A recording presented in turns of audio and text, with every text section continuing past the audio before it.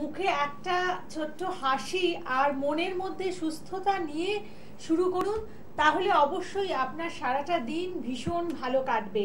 আর এই যে সারাটা দিন আপনারা কীভাবে ভালোভাবে কাটাতে পারেন, সেই ক্ষেত্রে আপনার বাস্তুর কি ভূমিকা থাকতে পারে এবং সেক্ষেত্রে আপনার জন্ম ছকের কতটা ভূমিকা রয়েছে সে নিয়েই আমরা আলোচনা করব। এবং বাস্তু বলতে আমরা কি বোঝাই? বাস্তু তো আসলে সেখানে মনের বাস যেখানে। যেখানে আমরা সুস্থভাবে শান্তি মতো আমাদের মানে প্রিয় মানুষগুলোকে নিয়ে বাস করতে পারি, সেটাই তো আমাদের বাস্তু। সেখানেই তো আমরা সুখী গৃহকোণ তৈরি করতে পারি। একটা সুখী গৃহকোণ তৈরি করতে আমরা প্রত্যেকেই চাই। আর সেই সুখী গৃহকোণ করতে হলে আমাদের কি কি করতে হবে? মানে আমাদের ঘরে যে আসবাবপত্রগুলো রয়েছে, যে ইলেকট্রনিক্স গেজেটসগুলো রয়েছে, বা আমাদের যে বিভিন্ন ঘরগুলোর অবস্থান রয়েছে সেগুলোকে আমরা কীভাবে সঠিক পজিশনে রাখব? কেন সঠিক পজিশনে যদি রাখতে পারি, সঠিক জায়গায় রাখতে পারি, সেখান থেকেই কিন্তু আমরা সুস্থতা পেতে পারি। সেখান থেকে আমরা আমাদের সমস্ত পজিটিভিটিগুলোকে লাভ করতে পারি। আর তাই আজকের বিশেষ অনুষ্ঠানে সেই বিশদ আলোচনা নিয়েই আমরা এসেছি এবং এই অনুষ্ঠানে যাকে আপনারা পেয়ে থাকেন অ্যাস্ট্রোলজার এবং বাস্তু এক্সপার্ট শ্রী আনন্দ, আজকেও তিনি রয়েছেন।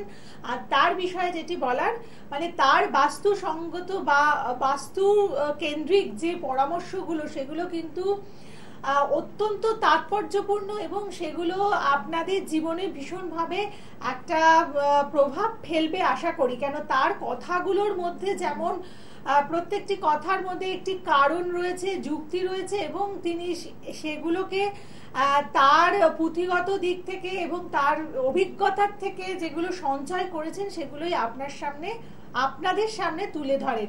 সেগুলো কিন্তু কোনো মন গড়া কথা নয় বা একটা মানে অনুষ্ঠান করছি বলে যে কোনো একটা কথা বলে দিলাম, সেটাই তো আপনারা শুনবেন, এমন কোনো মনোভাব নিয়েও বলেন না।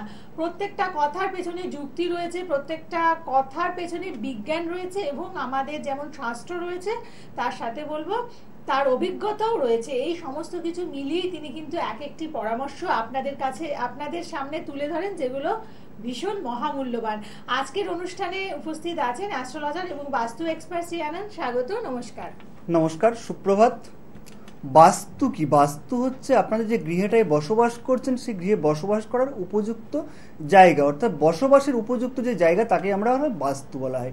সেই গৃহটা কিন্তু উপযুক্ত রয়েছে কিনা? আপনার বাস্তু থেকে আপনি সুফল পাচ্ছেন কিনা?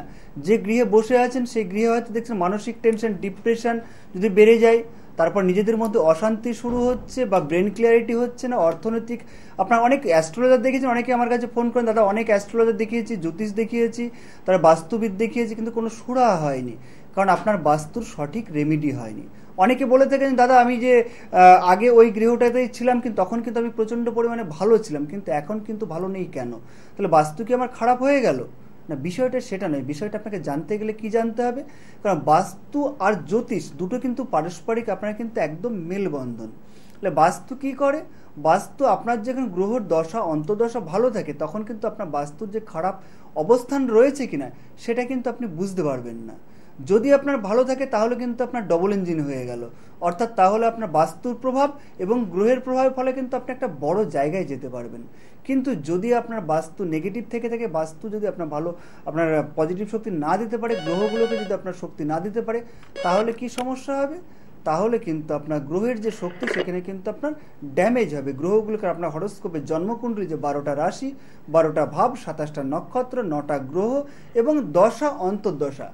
আপনি দশা অন্তর্দশা মিনস হচ্ছে সময়কাল, যে সময়ের মধ্যে দিয়ে আপনি যাচ্ছেন, সেটা আপনি বৃহস্পতির হতে পারে, শনির হতে পারে, আপনার রাহুর হতে পারে, যে প্রত্যেকটা মহাদশার যে পিরিয়ড রয়েছে, রাহুর আঠেরো বছর শনির শনির আপনার উনিশ বছর, বৃহস্পতি ষোলো বছর, মঙ্গলের সাত বছর, রবির ছ বছর, আপনার কেতুর সাত বছর, শুক্রের কুড়ি বছর, এরকম যে একশো বিশ বছরের বিংশত্রী যে মহাদশা রয়েছে, তাকে তার মধ্যে দিয়ে পিরিয়ডের মধ্যে আমরা কিন্তু চলাফেরা করি। আচ্ছা কি একজন লাইনে আছেন? কিন্তু বলুন কে আছেন সাথে? নমস্কার হ্যালো। হ্যালো নমস্কার আমি বারাসাত বলছি। আচ্ছা নমস্কার বলুন। আমি আমি কাছে গিয়েছিলাম আমার এই বাস্তব খুব সমস্যা ছিল হ্যাঁ? আচ্ছা। দাদা খুব কম টাকা আমার একটা কাজ করেছে বাস্তব অনেকটা লাইনে চলে এসছে হ্যাঁ? হুম হুম। অনেকটা এই বাস্তব আমার এমন ছিল থাকতে পারতাম না এমন যে অবস্থা বাড়াবাড়ি হয়ে গেছিল হ্যাঁ? কি আচ্ছা। প্রবলেম কি ছিল? সমস্যা কি ছিল? সমস্যা বাচ্চার অনেক ছিল না? ও আচ্ছা। দাদা অনেকটা করে দিয়েছে অনেকটা মানে হয়ে গেছে। থেকে- হয়ে গেছে। হুম। এখন একটু জানব আমার বিজনেসের সম্বন্ধে। আচ্ছা আপনার তো বিজনেসে প্রচুর পরিমাণে লস হয়ে গেছিল। আপনি বলছিলেন আমি এসে বারাসাত থেকে আমার মনে পড়ছে হ্যাঁ আপনাকে। প্রচুর ক্ষতি হয়ে গেছে বিজনেস আচ্ছা আপনার বাড়িতে প্রচুর সমস্যা ছিল আপনার মেন এন্ট্রান্সের সমস্যা ছিল আমি আমার মনে পড় যতদূর মনে পড়ছে। তা ওই মেন এন্ট্রান্সে ওনার প্রচুর পরিমাণে লস লস খেয়েছিল প্রচুর পরিমাণে ব্যবসা করতে গিয়ে এবং বাজারেও ধার দেনা হয়ে গেছিল আপনার। হ্যাঁ হয়ে গেছে হ্যাঁ। যাক এখন কীরকম আছেন? এখন ভালো আছেন তো? এখন মোটামুটি অনেকটা একটু অনেক লাইনে ফিরে এসেছি। আচ্ছা আচ্ছা। আপনার কিসের বিজনেস আমার এমনি হোটেল বিজনেস আছে। ও আচ্ছা। আচ্ছা। এখন এখন আপনি কি কি এখন কি ব্যবসার কি আপনার শুরু আবার আগের জায়গায় ফিরছে আস্তে আস্তে? লাইনে এসছে। হুম। আচ্ছা আপনি একটা কাজ করুন ঠিক আছে? ব্যবসার আপনার ভালো গ্রোথ পেয়েছে আপনি আর একদিন আমার কাছে আসুন। আপনার ওই যে আপনার ডেট অফ বার্থ আর হোটেলটা যেখানে রয়েছে না ওই হোটেলের একটা ভিডিও করে নিয়ে আসবেন আমাকে হ্যাঁ?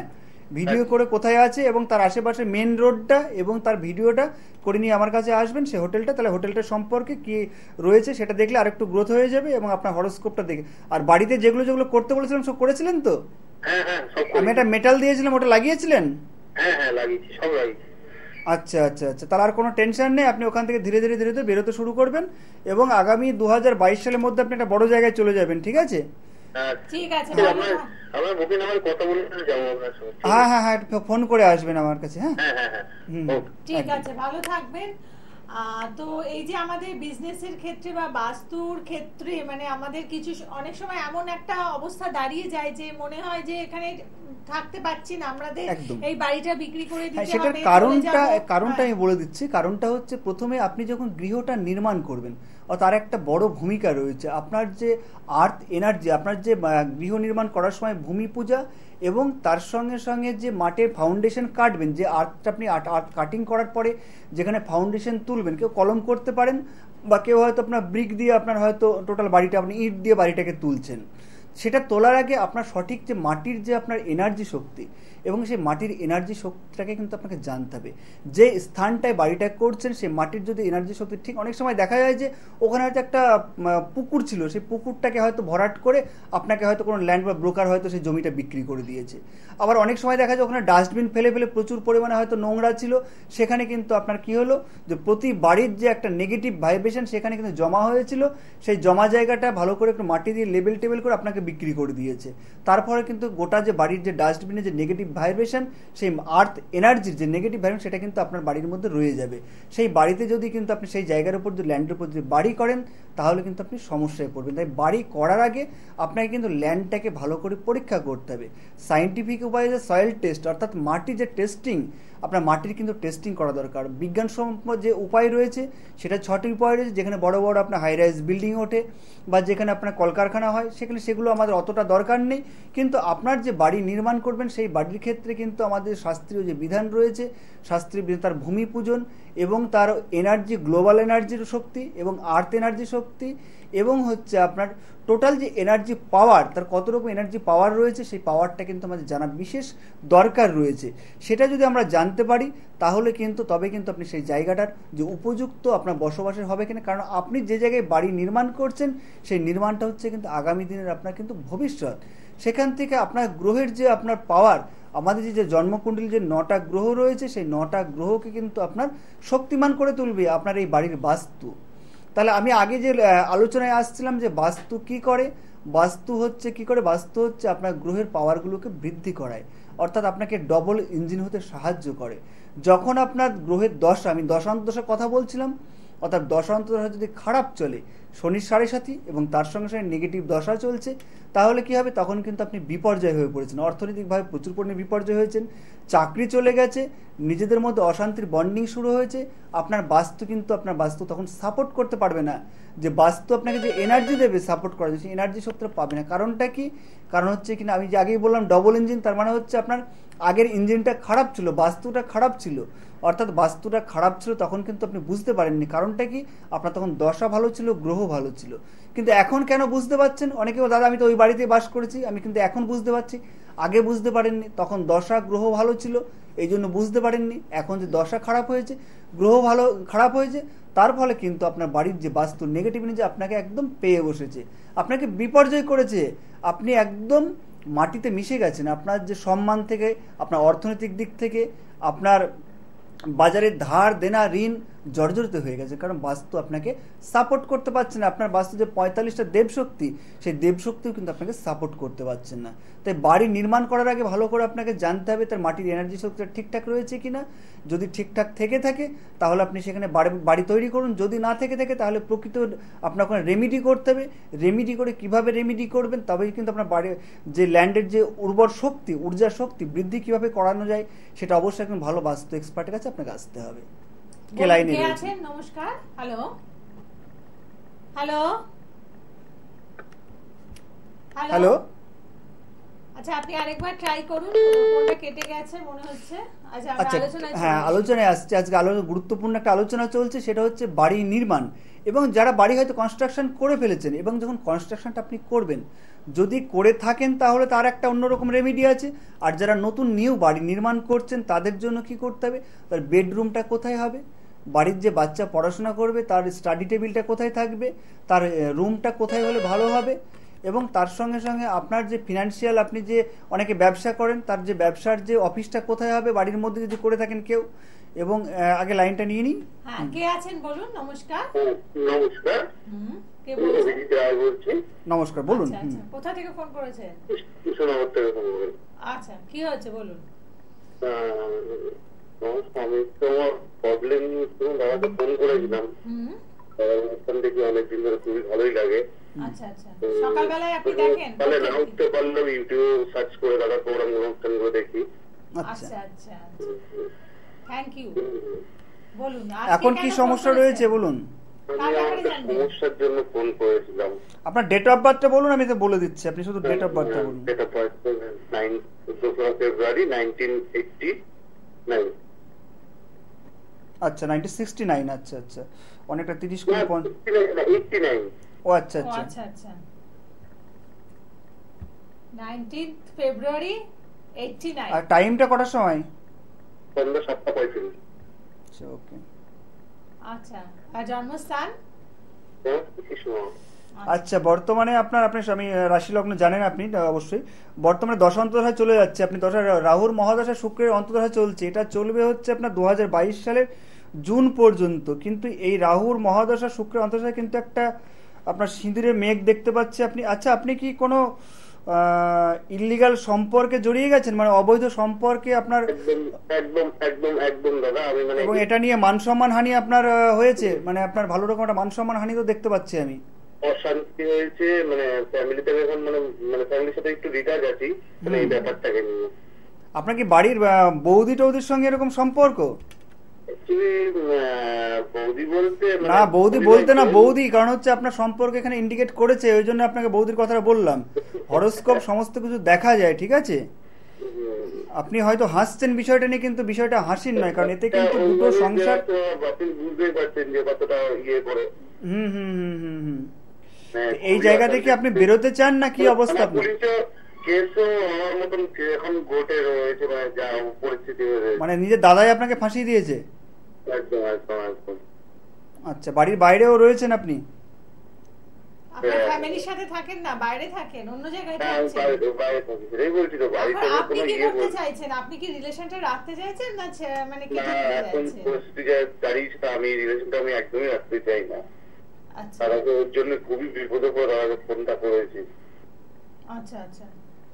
এটা কিন্তু আপনার রিলেশনশিপটা যে রাখার যে ব্যাপারটা, আপনার মনে চাচ্ছে যে দুটো এখানে ব্যাপার আছে। একটা মন চাচ্ছে যে রিলেশনটা আপনার রাখলেই ভালো হয়, কিন্তু মনটা চাচ্ছে না ওখান থেকে বেরিয়ে আসতে। তা ঠিক আছে, আপনি একটা কাজ করুন। আপনার রিলেশন অবশ্যই একটু বেরোনো দরকার রিলেশনশিপটা থেকে, না হলে কিন্তু আরও দিন দিন কিন্তু আরও বিপদে পড়ে যাবেন আপনি হ্যাঁ? তাই এর জন্য আপনি আমার সঙ্গে যোগাযোগ করুন। আমার কৃষ্ণনগর চেম্বার আমি প্রতি বুধবারে যাই ওখানে। আপনার দুপুর একটা থেকে আমি বিকেল ছটা পর্যন্ত থাকি। একটু আমাকে একটুখানি বাঁচান আমি আপনার সাথে কন্ট্যাক্ট করবোই কারণ মানে খুবই সামনে বুধবার চলে আসুন আছি। কৃষ্ণনগরের সামনে বুধবার আমি প্রতি বুধবার ওখানে থাকি আপনার থানার অপোজিটে একদম কোতোয়ালি থানার অপোজিটে হ্যাঁ? সেখানে আপনি চলে আসুন আপনার এখান থেকে আমি সম্পূর্ণ আপনার রিলিফ করিয়ে দেবো। ঠিক আছে? আপনি বলুন। ধন্যবাদ দাদাকে আমি আমাদের কাজটা একটু করে হ্যাঁ হ্যাঁ করে দেবো করে দেবো অবশ্যই। ঠিক আছে আপনি তো যাই হোক এইরকম আজকে নানান সম্পর্কের মানে এক জটে জড়িয়ে যাওয়া এটা অনেক ক্ষেত্রেই হচ্ছে। আহ, তো এইখান থেকে বেরিয়ে আসার জন্য আমাদের কি করণীয়? সেই জায়গাটা আমাদের অবশ্যই আহ, দেখতে হবে। মানে আমাদের হরোস্কোপ যেমন বিচার করতে হবে তার সাথে আমাদের আহ, বাস্তুর জায়গাটা আছে, এই ক্ষেত্রে কি বাস্তুর কোনো ভূমিকা রয়েছে? অবশ্যই, বাস্তুর একটা ভূমিকা তো রয়েছে আমাদের সাউথ ওয়েস্ট বারবার বলি সাউথ ওয়েস্ট জোনটা হচ্ছে রিলেশনশিপ জায়গা।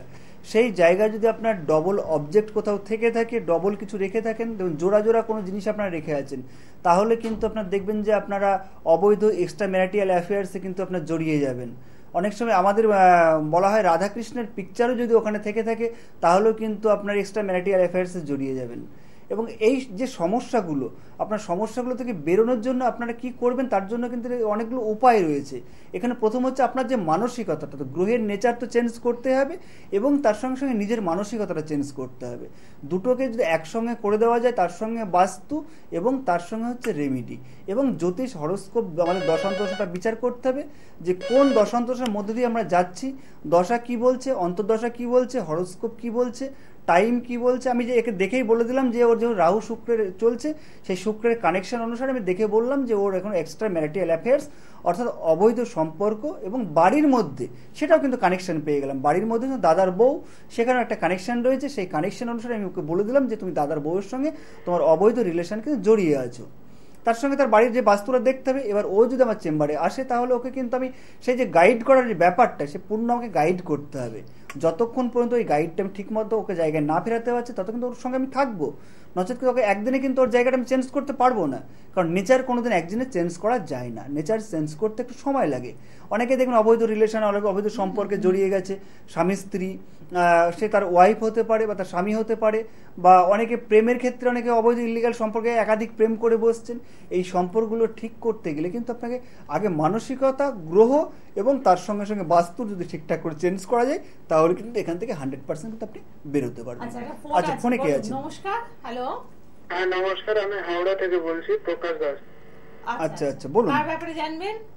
আমি আমার সম্পর্কে জানতে চাইব আমি গিয়েছিলাম তো বাবার কাছে গিয়েছিলাম ওই আমার একটু মার্কেটিং লাইনে জবের জন্য মানে ওটা আমার ছা- ইয়ে হয়ে গেছিল মানে আমাকে বের করে দিয়েছিল যে কোনো কারণে।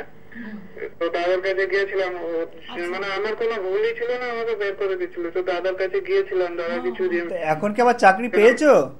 হ্যাঁ আবার পেয়েছি ওই জন্যই ফোন করা। আচ্ছা যা খুব ভালো কথা চাকরি এটা পেয়েছ। কতদিন আগে হয়েছে লকডাউনের আগে না পরে? যে না লকডাউনের পরে হয়েছিল। আচ্ছা মানে ফার্স্ট লকডাউনের পরে? হ্যাঁ হ্যাঁ ফার্স্ট লকডাউন আচ্ছা। তাহলে মানে এই ধরনের একটা মানে সময়ে তো সেখানে চাকরি চলে যাওয়া এবং তারপরে চাকরি খুঁজে পাওয়া একটা তো বলব যে একটা ভীষণ কৃতিত্বের হ্যাঁ, ব্যাপার।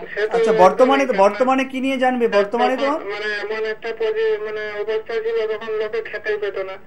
আর সেই টাইমে চাকরি চলে যাওয়া মানে তো আর চাকরিটা যে পেয়ে গেছি এটা বলতে পারি যে দাদা হলো আমার দ্বিতীয় ভগবান।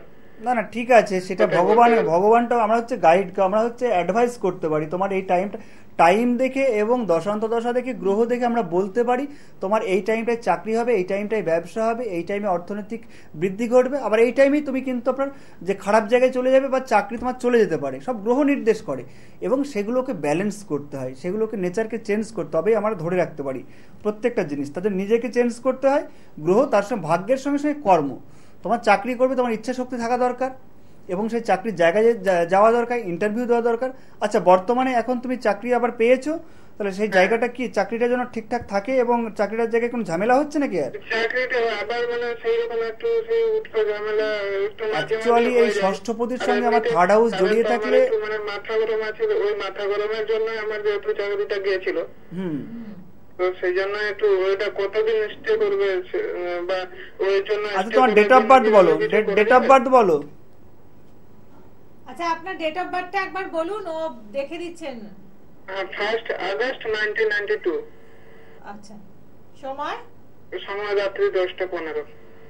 রাত্রি দশটা পনেরো তাই তো? হ্যাঁ। আর। জন্মস্থান? জন্মস্থান হাওড়ায়। ঠিক আছে সাথে থাকুন দেখে দিচ্ছেন। তোমার হরস্কোপে এর আগেও আমি তোমাকে বলেছিলাম তোমার হরস্কোপে সেই একটাই প্র- চাকরির জায়গাটার ক্ষেত্রে কি হবে? একটা কলিগের একটা সমস্যা সেটা থেকে থাকবে। কলিগ দ্বারা তোমার হ্যাঁ, ওই যে মানে ওতে একটা মানসিক সমস্যা সব সময়ের জন্য তোমাকে তাড়া করে বেড়ায় যে কলিগ নিয়ে তোমার একটা হ্যাম্পার হওয়া। এই জায়গাটা তোমাকে ঠিক করতে হবে। একটু আর তোমার বাড়ির সাউথ ওয়েস্ট জোনটা স্টেবিলিটি চাকরির স্টেবিলিটি পেতে গেলে সাউথ ওয়েস্ট জোনটাকে ঠিকঠাক করতে হয়। বাস্তুতে সেই জায়গাটা তোমার একটু সমস্যা রয়েছে।